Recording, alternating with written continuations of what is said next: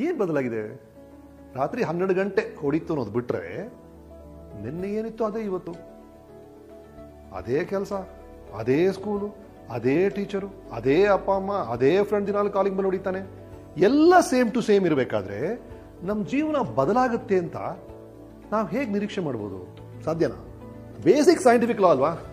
Output is proportional to input ಯಾವುದು ಬದಲಾದಾಗ ಜೀವನ ಹೇಗೆ ಬದಲಾಗುತ್ತೆ? ಆಗುತ್ತೆ. ಯಾಕಂದ್ರೆ ಆ ಇನ್ಪುಟ್ಟಲ್ಲಿ ಒಂದು ಮುಖ್ಯವಾದ ಅಂಶ ಇದೆ, ಅದು ನೀವು. ಯಾವುದು ಬದಲಾಗದೇ ಇದ್ದರೂ ನೀವು ಬದಲಾದರೆ, ನೀವೊಂದು ಸಣ್ಣ ರೀತಿಯಲ್ಲಿ ನೀವು ಯೋಚನೆ ಮಾಡೋ ರೀತಿನ ಬದಲಾಯಿಸಿದ್ರೆ, ಒಳ್ಳೆ ದಿಕ್ಕಲ್ಲಿ ಸ್ವಲ್ಪ ಬದಲಾದ್ರೆ, ಇವತ್ತಿಗಿಂತ ಮುಂದಿನ ವರ್ಷ ಹತ್ತರಷ್ಟು ಯಶಸ್ಸನ್ನು ನೀವು ನೋಡ್ಬೋದು. ಹಾಗಾಗಿ ಇಟ್ ಇಸ್ ನಾಟ್ ಹೊಸ ವರ್ಷ ಅಲ್ಲ ಮುಖ್ಯ, ಹೊಸ ನೀವು ಮುಖ್ಯ. ನಾನು ಏನು ಹೇಳ್ತಾ ಇದ್ದೀನಿ ಅಂದರೆ ಫಸ್ಟ್ ಆಫ್ ಆಲ್ ಯಾವುದೋ ಒಂದು ವಿಷಯದ ಬಗ್ಗೆ ನೀವು ಯೋಚನೆ ಮಾಡುವಂಥ ರೀತಿ. ಇಂಗ್ಲೀಷಲ್ಲಿ ನಾವು ಆಟಿಟ್ಯೂಡ್ ಅಂತ ಹೇಳ್ತೀವಿ. ಅಂದರೆ ಒಬ್ಬ ಟೂರಿಸ್ಟ್ ಬಂದಂತೆ, ಹೊಸದಾಗಿ ಊರಿಗೆ. ಅಲ್ಲಿ ಏನೋ ಒಂದು ಕನ್ಸ್ಟ್ರಕ್ಷನ್ ಕೆಲಸ ನಡೀತಾ ಇತ್ತು. ಮೂರು ಜನ ಕೆಲಸ ಮಾಡ್ತಿದ್ರು, ಕೂಲಿ ಕೆಲಸವರು ಮೊದಲೇ ಅವನು ಕರೆದವನು ಏನೇ ಮಾಡ್ತಿದ್ಯಾ? ಅಂದ. ಅಯ್ಯಾ, ಬೆಳಗಿಂದ ಸಂಜೆವರೆಗೂ ದುಡಿತೀನಿ ಈಡಿಕೆ, ಕಲ್ಲು, ಸಿಮೆಂಟು, ಫು. ಇವ್ರು ಕೊಡೋ ಜುಜ್ಬಿ ಸಂಬಳಕ್ಕೆ ಬೆಳಗಿಂದ ಸಾಯಂಕಾಲ ಸಾಯ್ಬೇಕು, ಅಂದಂತೆ. ಎರಡನೇ ಅವ್ನು ಕೇಳ್ದ, ಏನು ಮಾಡ್ತಿದ್ಯಾ? ಅವ್ನು ಹೇಳ್ದೆ, ಸಾರ್ ಬೆಳಗಿನ ಸಂಜೆವರೆಗೂ ದುಡಿತೀನಿ ಸರ್. ಸ್ವಲ್ಪ ದುಡ್ಡು ಕೊಡ್ತಾ ಸರ್. ಮನೆಗೆ ಹೋಗ್ತೀನಿ ಸರ್. ಹೆಂಡತಿ ಮಕ್ಕಳು ಸಾಕ್ತೀನಿ ಸರ್. ನಿಜವಾಗ್ಲೂ ಯಜಮಾನ ಚೆನ್ನಾಗಿರ್ಬೇಕು ಸರ್ ಅನ್ನೋದು. ಮೂರನೇ ಅವನು ಕೇಳ್ದ, ಏನು ಮಾಡ್ತಿದ್ದೆ? ದೇವಸ್ಥಾನ ಕಟ್ತಿದ್ದೀವಿ ರೀ. ಇಡೀ ರಾಜ್ಯಕ್ಕೆ ಬೆಸ್ಟ್ ದೇವಸ್ಥಾನ ಆಗುತ್ತೆ ರೀ. ಒಳಗೆ ದೇವ್ರು ಇರ್ತಾರೆ ಎಲ್ಲ ಪೂಜೆ ಮಾಡ್ತಾರೆ ಕ್ಯೂ ನಿಲ್ತಾರೆ ಭಕ್ತರು ಅಂದಂತೆ ಮಾಡ್ತಿರೋದು ಅದೇ ಕೆಲಸ. ಒಬ್ಬ ಗುಣುಕ್ತಾ, ಕೊರುಕ್ತಾ ಅವ್ನ ಕೆಲಸದ ಬಗ್ಗೆನೇ ಒಂದು ಕಂಪ್ಲೇಂಟು ಇನ್ನೊಬ್ಬನಿಗೆ ಅಟ್ಲೀಸ್ಟ್ ಒಂದು ಗ್ರಾಟಿಟ್ಯೂಡ್ ಇದೆ. ಅಯ್ಯೋ, ನಾನು ಇದನ್ನು ಸಂಪಾದನೆ ಮಾಡ್ತಿದ್ದೀನಿ. ನನ್ನ ಜೀವನ ಇದರಿಂದ ನಡೀತಾ ಇದೆ. ಅಂತ ಒಂದು ಥ್ಯಾಂಕ್ಸ್ ಇದೆ.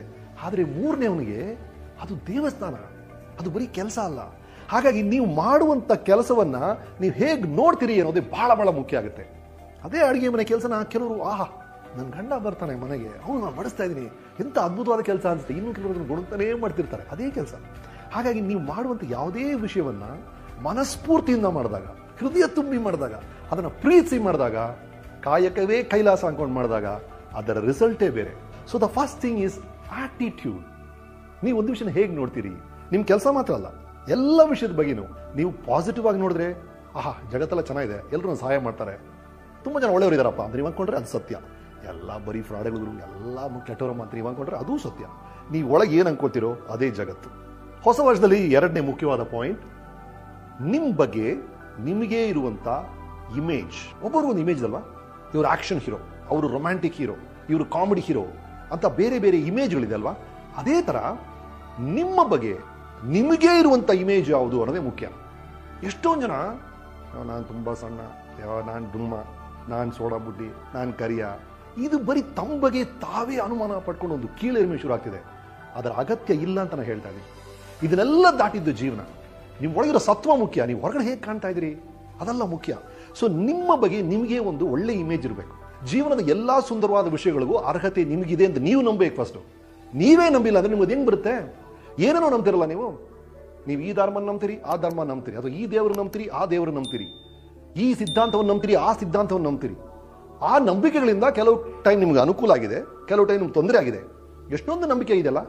ಈ ನಂಬಿಕೆ ಎಲ್ಲ ಇರಲಿ, ಇದೆಲ್ಲ ಬೇಡ ಅಂತ ಹೇಳ್ತಿಲ್ಲ. ಇದ್ರ ಜೊತೆ ಒಂದು ಹೊಸ ನಂಬಿಕೆ ಈ ಹೊಸ ವರ್ಷದಲ್ಲಿ ಶುರು ಆಗಲಿ. ನಿಮ್ಮನ್ನ ನೀವು ನಂಬಬೇಕು ಮೊದಲು. Believe in yourself that is the basic thing so ನಿಮ್ಮಲ್ಲೊಂದು ಆತ್ಮವಿಶ್ವಾಸ ಇದೆ. ನಿಮ್ಮನ್ನು ನೀವು ನಂಬ್ತೀರಿ. ಅದು ಜಂಬ ಅಲ್ಲ. It is very very correct estimate of yourself ಅಂತ ಅನ್ಕೋಣ ನಿಮ್ಮೊಂದು ಅದ್ಭುತವಾದ ಆಟಿಟ್ಯೂಡ್ ಇದೆ ಅಂತ ಇಟ್ಕೋಣ ಆದರೆ ಅದು ಸಾಲಲ್ಲ. ಇನ್ನೂ ಕೆಲವು ವಿಷಯಗಳು ಬೇಕಾಗುತ್ತೆ.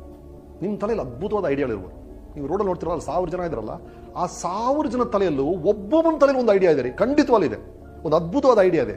ಐಡಿಯಾಗಳೇನು ಕೊರತೆನೇ ಇಲ್ಲ. ಎಲ್ಲೂ. ಆದರೆ ಆ ಐಡಿಯಾನ ಕಾರ್ಯರೂಪಕ್ಕೆ ತರಬೇಕು. ನಾನೊಬ್ಬ ಡೈರೆಕ್ಟರ್ ಆಗಿ ದಿನಾಲ ಬೆಳಗ್ಗೆ action ಅಂತಿರ್ತೀನಿ. Action that is the most important thing ಬರೀ ಐಡಿಯಾ ಐಡಿಯಾ ತಲೆಯಲ್ಲಿ ಉಳಿದಲ್ಲಿ ಏನಾಗ್ತಾ ಇದೆ? ಕಾರ್ಯ ರೂಪದಲ್ಲಿ ಆ ಐಡಿಯಾ ಬರಲಿಲ್ಲ ಅಂದ್ರೆ ಐಡಿಯಾ ಇದ್ದಿದ್ದು ವೇಸ್ಟ್ ಹಾಗಾಗಿ ಅದನ್ನು ಕಾರ್ಯರೂಪಕ್ಕೆ ತರುವಂಥ ಎಲ್ಲ ತಯಾರಿಕೆಗಳನ್ನು ನೀವು ಮಾಡ್ಕೋಬೇಕಾಗುತ್ತೆ. ಸುಮ್ಮನೆ ದುಮ್ಕೋದಲ್ಲ. ನನಗೆ ಈಜಕ್ಕೆ ಇಷ್ಟ ಇಷ್ಟ ಆಗ್ಬಿಟ್ಟು ಸಮುದ್ರ ದುಮ್ಬಿಟ್ರೆ ಅಲ್ಲಿ ಮುಳುಗ್ಬಿಡ್ತೀರಾ? ಈಜೆ ಕಲಿಬೇಕಲ್ವಾ first so the most important thing is preparation ತಯಾರಿಕೆ ತಯಾರಿಕೆ ತಯಾರಿಕೆ. ನೀವು ಏನು ಆಗಬೇಕು ಅಂತ ಇಷ್ಟಪಡ್ತೀರೋ ಅದರ ಕಡೆ ಎಲ್ಲ ತಯಾರಿಕೆ ನೀವು ಮಾಡ್ಕೋಬೇಕಾಗುತ್ತೆ. ಆ ಕೆಲಸದ ಹೋಗಿ ನುಗ್ಗೋಕೆ ಮುಂಚೆ. ಕಣ್ಣು ಮುಚ್ಕೊಂಡು ಅರ್ಥನೇ ಇಲ್ಲ. ಸೊ ಪ್ಲೀಸ್ ಬಿ ಪ್ರಿಪೇರ್ಡ್ ಲೋನ್ ಕಡೆ ಓದ್ ಅದ್ಭುತವಾಗಿ ಓದಿದ್ದೆ. Luck is when opportunity means preparation ಅಂತ. ಅವನು ಅದೃಷ್ಟ ಗುರು ಅವನ ಮೇಲೆ ಬಂದ್ಬಿಟ್ಟ ಅಂದರೆ. ಅದೃಷ್ಟ ಅಲ್ಲ ಅದು. ಅವನಿಗೆ ಅವಕಾಶ ಬಂದಾಗ ಅವನು ತಯಾರಾಗಿದ್ದ ಅಂತ ಅರ್ಥ. ನೀವು ತಯಾರಾಗಿದ್ದಾಗ ಅವಕಾಶ ಬರಬೇಕು. ಪಾಪ ಕೆಲವರು ತಯಾರಾಗಿರ್ತಾರೆ, ಅವ್ರಿಗೆ ಅವಕಾಶಗಳು ಬರೋದಿಲ್ಲ. ಹಾಗಾಗಿ ಈ ಪ್ರಿಪರೇಷನ್ ತಯಾರಾಗಿರೋದು ಮತ್ತು ಅವಕಾಶ ಎರಡೂ ಮುಖ್ಯ ಆಗುತ್ತೆ. ಆಗ ಅವಕಾಶ ಯಾವಾಗ ಬರುತ್ತೋ ಗೊತ್ತಿಲ್ಲ. ನಿಮ್ಮನ್ನು ಹುಡ್ಕೊಂಡು ಬರುತ್ತದೋ. ಆವಾಗ ನೀವು ತಯಾರಾಗಿರಬೇಕು. ನೀವು ತಯಾರಾಗಿಲ್ಲದೆ ಇದ್ರೆ ನಿಮ್ಮ ಜೀವನ ದೊಡ್ಡದಾಗಿ ಬದಲಾಗಲ್ಲ. ಸೊ ನೀವು ಇಷ್ಟಪಡೋ ವಿಷಯಗಳಲ್ಲಿ ನಿಮ್ಮ ಪ್ರಿಪರೇಷನ್ ಎಷ್ಟು ಜಾಸ್ತಿ ಮಾಡ್ಕೊಳ್ತಿರೋ ಅಷ್ಟು ಒಳ್ಳೇದಾಗುತ್ತೆ. ನನ್ನ ಹತ್ರ ಬರ್ತಾರೆ ಸರ್, ನಾನು ಅಸಿಸ್ಟೆಂಟ್ ಡಾಕ್ಟರ್ ಆಗ್ಬೇಕು ಸರ್, ಏನು ಮಾಡ್ಬೇಕು ಸರ್ ಅಂತಾರೆ. ಓದಿ ಅಂತೀನಿ. ಸರ್, ನಾನು ಡಾಕ್ಟರ್ ಆಗ್ಬೇಕು ಸರ್, ಏನು ಮಾಡ್ಬೇಕು ಸರ್, ಓದಿ ಅಂತೀನಿ. ನಾನು ಇಂಜಿನಿಯರ್ ಆಗ್ಬೇಕು ಸರ್, ಓದಿ. ಮೆಕ್ಯಾನಿಕ್ ಆಗ್ಬೇಕು ಸರ್, ಓದಿ. ನಾನು ಲೈಟ್ ಮ್ಯಾನ್ ಆಗ್ಬೇಕು ಸರ್, ಓದಿ. ಎಲ್ಲದಕ್ಕೂ ನಾನು ಓದಿ ಓದಿ ಓದಿ ಅಂತ ಇರ್ತೀನಿ. ಬಿಕಾಸ್ ಪ್ರಪಂಚದಲ್ಲಿ ನಿಮ್ಗೆ ಬೇಕಾಗಿರೋ ಎಲ್ಲ ವಿಷಯಗಳಿದೆ. ಆ ಇಂಟರ್ನೆಟ್ಟಲ್ಲಿದೆ ಲೈಬ್ರರಿಲಿದೆ ನೀವು ಏನೇನು ತಿಳ್ಕೋಬೇಕು ಅಂತ ಆಸೆ ಪಡ್ತಿರೋ ಅದೆಲ್ಲವೂ ಅಲ್ಲಿದೆ. ಅದನ್ನು ಹುಡ್ಕೊಂಡು ನೀವು ತಿಳ್ಕೋಬೇಕಷ್ಟೇ. ಬಿಕಾಸ್ ನಾಲೆಜ್ ಈಸ್ ಪವರ್ ಜ್ಞಾನಕ್ಕಿಂತ ದೊಡ್ಡ ಒಂದು ಶಕ್ತಿ ಇಲ್ಲ. Putting that knowledge into action is bigger power ಒಬ್ಬರು ಹಿರಿಯರು ಒಂದು ಕತೆ ಹೇಳ್ತಾ ಇದ್ರು. ದೇವರುಗಳೆಲ್ಲ ಮೇಲೆ ನಿಂತ್ಕೊಂಡು ನೋಡ್ತಾ ಇದ್ರಂತೆ, ಈ ಮನುಷ್ಯ ಬೆಳೀತಾ ಇದ್ದಾನೆ ಬೆಳೀತಾ ಇದ್ದಾನೆ ಅತಿ ಶೀಘ್ರದಲ್ಲಿ ಈ ಮನುಷ್ಯ ನಮ್ಮ ಲೆವೆಲ್ ಬಂದ್ಬಿಡ್ತಾನೆ ಕಣಯ್ಯ. ಇವ್ನು ಏನಾರು ಮಾಡ್ಬಿಟ್ಟು ಒಂದು ಕಟ್ ಮಾಡ್ಬೇಕು ಇವ್ನ ಸೈಜ್ನ ಅಂತ ಡಿಸೈಡ್ ಮಾಡಿದ್ರಂತೆ ಏನು ಮಾಡಿದ್ರು ಯೋಚನೆ ಮಾಡಿ ಒಂದು ಐಡಿಯಾ ಮಾಡಿದ್ರಂತೆ ಒಂದು ಸಣ್ಣ ಪುಟಾಣಿ ಚೋಟಾ ಚೇತನ್ನ ನಮ್ಮ ಕಿವಿ ಹತ್ರನೇ ಕೂರಿಸಿದ್ದಾರೆ ನಮಗೆ ಕಾಣಲ್ಲ ಅಷ್ಟೇ. ಇಲ್ಲೊಬ್ಬ ಚೋಟಾ ಚೇತನ್ ಕೂತಿದ್ದಾನೆ ಒಂದು ಸಣ್ಣ ಡೆವಿಲ್ ಅವನು. ನೀವೇನಾರು ಕೆಲಸ ಮಾಡೋಕೆ ಹೊರಟಾಗ ಅವನ ಕಿವಿಯಲ್ಲಿ, ಹೇ ಗುರು ಇವತ್ತೇನೇ ಅರ್ಜೆಂಟ್ ನಾಳೆ ಬೇಡನ ಬೇಡಮ್ಮ ಅಂತಾನಂತೆ. ಅಷ್ಟೇ, ಆ ಒಂದು ಸಣ್ಣ ವಿಷಯದಿಂದ ಮನುಷ್ಯ ದೇವರಾಗಿ ಸಾಧ್ಯನೇ ಆಗಿಲ್ಲ ಅಂತ ಹೇಳ್ತಾರೆ. ನೀವೇನೋ ಮಾಡ್ಕೋಬೇಕು ಅಂತೀರಿ? ವ್ಯಕ್ತಿ ಒಂದು ಕಿವಿಯಲ್ಲಿ, ಏನು ಗುರು ಅರ್ಜೆಂಟ್ ನಾಳೆ ಮಾಡಬೇಡಮ್ಮ ಬಿಡಮ್ಮ. ಪೋಸ್ಟ್ಪೋನ್ ಮಾಡಿ ಪೋಸ್ಟ್ಪೋನ್ ಮಾಡಿ ಪೋಸ್ಟ್ಪೋನ್ ಮಾಡಿ. ಅಗತ್ಯವಾದ ವಿಷಯಗಳು, ನೀವು ಮಾಡಲೇಬೇಕಾಗಿರೋ ವಿಷಯಗಳನ್ನ ನಾವು ಮಾಡೋದೇ ಇಲ್ಲ. ಅಂದ್ರೆ ಅಂದ್ಕೊಂಡ್ರೆ ಎಲ್ಲ ವಿಷಯ ಮಾಡಬೇಕು ಅಂತಿಲ್ಲ. ಮಾಡಲೂಬಾರದು.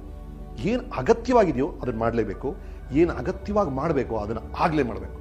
ಇಫ್ ಯು ಪೋಸ್ಟ್ಪೋನ್ ಅನ್ನೆಸರ್ಲಿ ನಿಮಗೆ ನಿಜವಾಗ್ಲೂ ನಿಮಗೆ ಸಿಗಬೇಕಾಗಿರುವಂಥ ಗೌರವಗಳು, ನಿಮಗೆ ಸಿಗಬೇಕಾದಂಥ ಸನ್ಮಾನಗಳು ಎಲ್ಲವೂ ಮಿಸ್ ಆಗಿರುತ್ತೆ because of unnecessary postponement of essential things ಈ ಲೈಫ್ ಟೈಮ್ ಅಥವಾ ಜೀವನ ಏನು? ಇವತ್ತು, ನಾಳೆ, ಮತ್ತೆ ಇವತ್ತು, ನಾಳೆ, ಮತ್ತೆ ಇವತ್ತು, ನಾಳೆ. ಈ ಸರಣಿಯ ಇವತ್ತು, ನಾಳೆ, ಇವತ್ತು, ನಾಳೆನೇ ಜೀವನ ಆಗುತ್ತೆ. ಹಾಗೆ ನೀವು ಜೀವನ ಅದ್ಭುತವಾಗಿರ್ಬೇಕು ನೀವು ಆಸೆ ಪಟ್ಟರೆ ಬೇರೆ ಎಲ್ಲೂ ಇಲ್ಲ ಗುಟ್ಟು. ಇವತ್ತು ಮತ್ತು ನಾಳೆ, ಅದರಲ್ಲೇ ಅಡಗಿದೆ. ನೀವು ಇವತ್ತೇನು ಮಾಡ್ತಾ ಇದ್ದೀರಾ? ಈ ನಾಳೆ ಏನು ಮಾಡ್ತಿದ್ದೀರಾ? ಇವತ್ತು ಮಾಡೋದನ್ನ ನಾಳೆ ಮಾಡೋದನ್ನ ಪರ್ಫೆಕ್ಟ್ ಆಗಿ ಮಾಡಿದ್ರೆ ನಿಮ್ಮ ಜೀವನ ಪರ್ಫೆಕ್ಟ್ ಆಗಿರುತ್ತೆ. ಇವತ್ತು ನೀವು ಸರಿ ಮಾಡಿಲ್ಲ ಕೆಲಸ, ನಾಳೆ ಸರಿಗೆ ಮಾಡಿಲ್ಲ ನಿಮ್ಮ ಜೀವನ ಚೆನ್ನಾಗಿರ್ಬೋದು ಹೇಗೆ ಸಾಧ್ಯ ಅದು? ಅಷ್ಟೇ ಅಲ್ವಾ ಜೀವನ? ಇವತ್ತು ನಾಳೆ ಕಂಟಿನ್ಯೂಸ್ ತಾನೆ ಅದು? ನೀವು ನೋಡಿ, ದೊಡ್ಡ ಚಾಂಪಿಯನ್ಸ್ ನೋಡಿ, ವಿರಾಟ್ ಕೊಹ್ಲಿ, ಅದ್ಭುತ ಕ್ರಿಕೆಟ್ ಆಡ್ತಾರೆ. ನಾನು ಹೇಳ್ತೀನಿ, ಗುರು, ಮೊನ್ನೆ ಹೋದ ಶನಿವಾರ ಶುರು ಮಾಡಿದಾಗ ಗುರು, ನಾನೇ ಬ್ಯಾಟ್ ತೆಕ್ಕೊಟ್ಟೆ ಅವನಿಗೆ. ಎಷ್ಟನ್ನ ಆಡ್ದು ನಂಬ್ತೀರಾ ನೀವು? ಹೇ ಸಾಧ್ಯನಲ್ಲ ಹೋಗಲ್ಲ ಅಂತ ಹೇಳ್ತೀರಿ ಅಲ್ವಾ? ಅಂತ ಒಂದು ಸಾಧನೆ ಮಾಡಬೇಕಾದ್ರೆ ಅದ್ರ ಹಿಂದೆ ಅಷ್ಟೊಂದು ಪರಿಶ್ರಮ ಇರ್ತದೆ ನಿಮ್ಗೆ ಗೊತ್ತಿದೆ. ದಟ್ ಇಸ್ ಲಾಜಿಕ್ ಒಳ್ಳೆ ಜಿಮ್ ಬಾಡಿ ಇರೋನು ನೋಡ್ತೀರಿ, ಬಸ್ ಸ್ಟ್ಯಾಂಡಲ್ಲಿ ನಿಮಗೆ ಗೊತ್ತಾಗುತ್ತೆ, ಇವ್ನು ದಿನ ಎಕ್ಸೈಸ್ ಮಾಡ್ತಾನೆ ಕಣೆ ನೋಡಿದ್ರೆ ಗೊತ್ತಾಗುತ್ತೆ ಅಂತ. ಎವ್ರಿ ಡೇ ಅವ್ನು ಜಿಮ್ ಹೋಗ್ತಾನೆ ಎವ್ರಿ ಡೇ ಅವ್ನು ಎಕ್ಸೈಸ್ ಮಾಡ್ತಾನೆ, ಅದಕ್ಕೆ ಅವ್ನ ಬಾಡಿ ಹಂಗಿದೆ. ಅದು ಎಲ್ಲ ಫೀಲ್ಡ್ ಅದು ಅಪ್ಲೈ ಆಗುತ್ತೆ. ಅದು ದಿಢೀರಂತ ಆಗೋದು ವಿಷಯ ಅಲ್ಲ. ಕಾನ್ಸ್ಟೆಂಟ್ ಕಾನ್ಸ್ಟೆಂಟ್ ಕಾನ್ಸ್ಟೆಂಟ್ ಎಫರ್ಟ್ ಅದು. ಹಾಗಾಗಿ ನಮ್ಮ ದಿನನಿತ್ಯದ ಅಭ್ಯಾಸಗಳು, ನಮ್ಮ ದಿನಚರಿ ನಮ್ಮ ಜೀವನವನ್ನ ನಿರ್ಣಯ ಮಾಡುತ್ತೆ. ಹಾಗಾಗಿ ಬೆಳಗಿಂದ ಸಂಜೆವರೆಗೂ ನಮ್ಮ ಜೀವನ ನಾವು ಏನು ಮಾಡ್ತಾ ಇದ್ದೀವಿ? ಇದರಲ್ಲಿ ಒಂದು ಸಣ್ಣ ಬದಲಾವಣೆ ಆದರೆ, ಒಳ್ಳೆ ರೀತಿ ಬದಲಾವಣೆ ಆಗಿದ್ರೆ ನಮ್ಮ ಜೀವನ ಬದಲಾಗುತ್ತೆ ಅನ್ನೋದೇ ಕಾಮನ್ ಸೆನ್ಸ್